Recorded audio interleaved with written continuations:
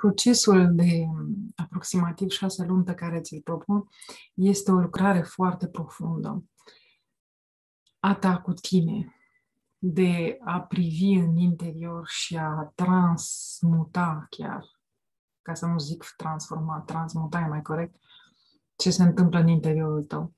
Adică ceva care nu ne-a învățat nimeni niciodată să facem și nu s-a dat valoare până acum în lumea asta și de asta am senzația asta de rătăcire și de nu știu uh, ce fac pentru că nu știu de fapt cine sunt. Așa că, oricât aș explica despre proces, mă străduiesc să fac asta acum, dar uh, îmi dau seama că lumea înțelege treptat pe măsură ce avansează ce înseamnă cu adevărat, pentru că e un peisaj pe care îl descoperi în interiorul tău, nimeni nu poate să ți-l descrie înainte și n-ai cum, e o experiență care trebuie să o trăiești. Deci, um, eu am trecut prin acest proces acum 15 ani aproximativ și asta mi-a schimbat foarte mult viața. Total, nu foarte mult, mi-a schimbat viața. Așa că de atunci încoace uh, acompaniez și ghidez o grămadă de persoane să um, fac aceste schimbări în interiorul lor sau, mai bine zis, aceste conștientizări în interior. Deci să fim prezenți în tot ceea ce facem, să fim prezenți în mentalul nostru, ce se întâmplă acolo.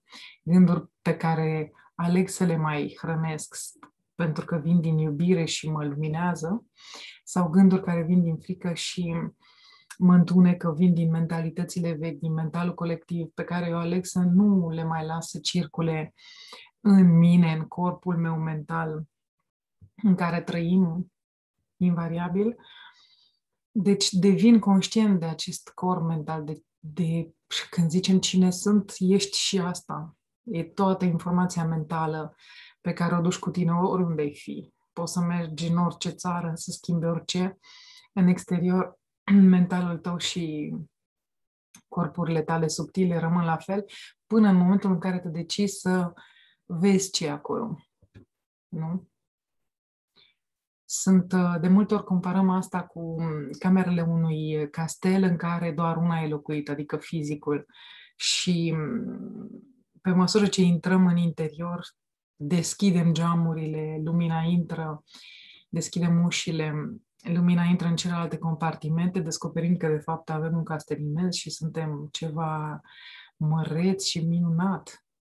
Asta vă invit să deschideți um, camera mentalului, camera emoționalului, care de multe ori e strâns închisă și blocată, ca nu cumva să suferim emoțional, deci inconștient facem asta, dar sunt răni emoționale pe care le ducem de copii până în prezent și de care dacă nu ne ocupăm și nu le curățăm, nu avem cum să ne eliberăm, ele vibrează într-un anumit fel și automat um, aduc experiențe pe măsură ca să le vedem. Nu? Viața e super inteligentă, funcționează automat.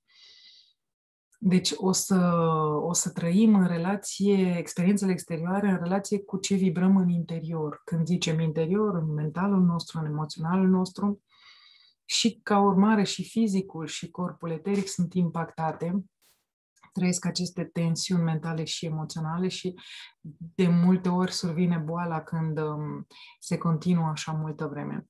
Deci invitația în acest proces, în prima parte a lui, în primele 13 ședințe, este să vedem la nivelul personalității noastre, adică aceste patru corpuri, ce se întâmplă. O să vă întâlniți cu mine o sesiune la nivelul fiecărei chakre, deci șapte sesiuni o să facem împreună și în paralel um, cu niște persoane din uh, grupul uh, Solisis care au făcut aceste cursuri de mulți ani și continuă în căutarea lor interioară.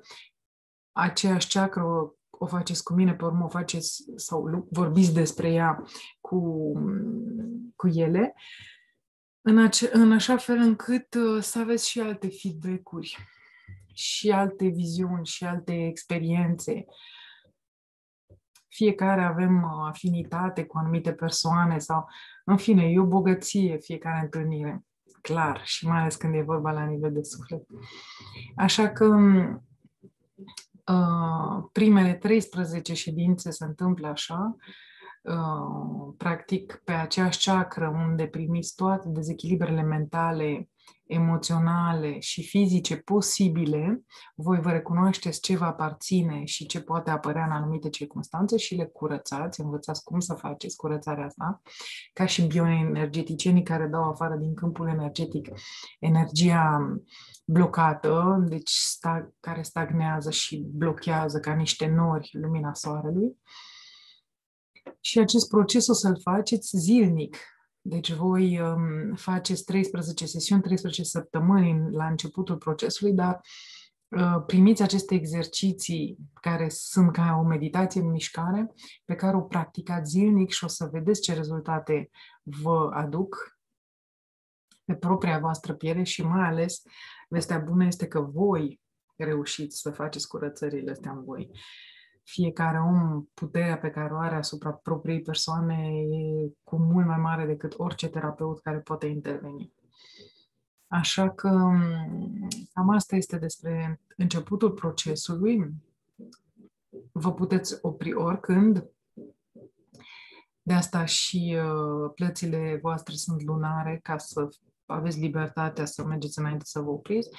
Și pe urmă, cei care vor să aprofundeze odată ce au făcut curățarea asta a personalității și a primelor patru corpuri și vor să se conecteze cu sinele superior, cu aspectele sufletești, spirituale, mai profund, atunci uh, continuăm cu uh, această conectare cu sinele superior, cu o curățare mai profundă, uh, două ședințe, după care conectarea cu cele șapte raze ale sufletului nostru, să zicem, aspectele spirituale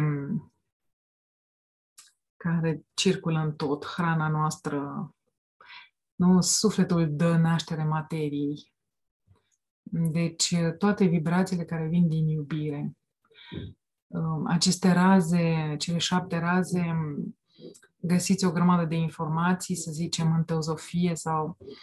Um, dar eu nu fac un curs teoretic în care aflați chestii mental, ci în meditație, întâlnindu-vă cu raza respectivă și solicitând prezența, deci efectiv energetic, suntem îmbăiați, transformați, echilibrați, deci este o parte miraculoasă a cursului, în măsura în care ne deschidem cu adevărat inima, se întâmplă niște lucruri pentru că suntem, um, pentru că aceste raze și aceste calități sufletești sunt și noi, chiar dacă sunt latente și într-un fel amorțite până când se trezesc din, noi, din nou. Deci e o reîntoarcere acasă destul de palpabilă pe care o puteți experimenta și uh, regeneratoare total. Apoi, um, procesul se încheie cu trei uh, întâlniri, ședințe care le mai facem de sinteză, în care vedem un pic fiecare din ce rază face parte și recunoaște apelul sufletului, misiunea în viață, eventual. Um, înțelege mai bine fraternitatea cristică și cum funcționează eu dădeam aceste cursuri când um, am întâlnit cărțile lui Daniel Meroa pe care poate le cunoașteți și le-am publicat la editura Solisis, deci care vin să completeze și să arate un alt unghi a aceleiași învățături ale fraternității cristice. Și după aproximativ șase luni, procesul um, se încheie fizic, sau cum e organizat, dar uh, continuă o viață întreagă sau vieți întregi. Pentru că practicând și meditând și folosind instrumentele de curățire de care vorbim și care le primiți, voi continuați procesul ăsta în voi uh, toată viața voastră. Sunt persoane care, pe care le întâlnesc după 20 de ani și îmi zic, știi, eu continui exercițiile fac și asta mi-a schimbat viața. E perfect nu trebuie neapărat să, ne, să continuăm să ne vedem, dar cine vrea, ă, există și posibilitatea asta o dată pe săptămână să ne întâlnim pentru a medita împreună, pentru a trimite energiile astea în, în această dimensiune în care suntem um, a aprofunda în momentul în care, cum zice Iisus, ne adunăm doi sau trei în numele meu, voi fi și eu acolo. Deci suntem acompaniați în continuare de, de ghizii noștri de lumină și cei care ne transferă cunoașterea și sunt implicați pentru asta, cei despre care vom vorbi în procesul, um, în partea procesului în care vorbim despre cele șapte raze. Vorbim de ghizii noștri, de ghizii, de maestri de lumină um, și simțim, nu facem un contact interior vibrațional, nu e un contact mental în care aflu chestii, pur și simplu devine ceva real și viu pentru noi. Așa că cine vrea poate să continue cât timp va simți că vrea și în această vibrație comună în care ne întâlnim ca un grup, se întâmplă lucruri și se întâmplă în interiorul fiecăruia dintre noi. E o plăcere să ne întâlnim și e o plăcere să descoperim uh, lumina care e în noi. Așa că vă aștept.